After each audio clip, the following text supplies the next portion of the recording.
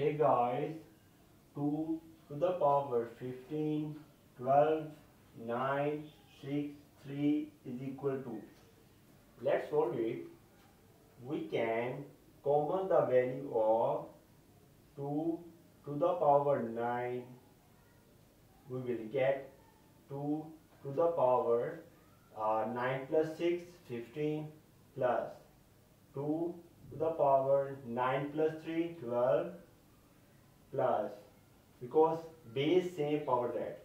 And next we write here 1 this is the our first step.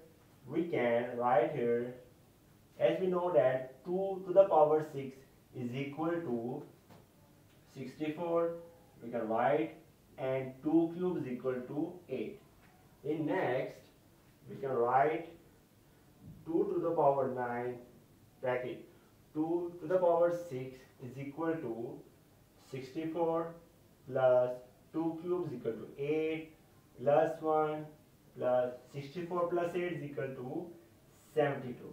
In next, 2 to the power 9 is equal to 512 and 64 plus 8, 72 plus 1, 73 plus 72. 512 times 73 is equal to 37376 plus 72. We will get here 37448. So that's our right answer. Okay,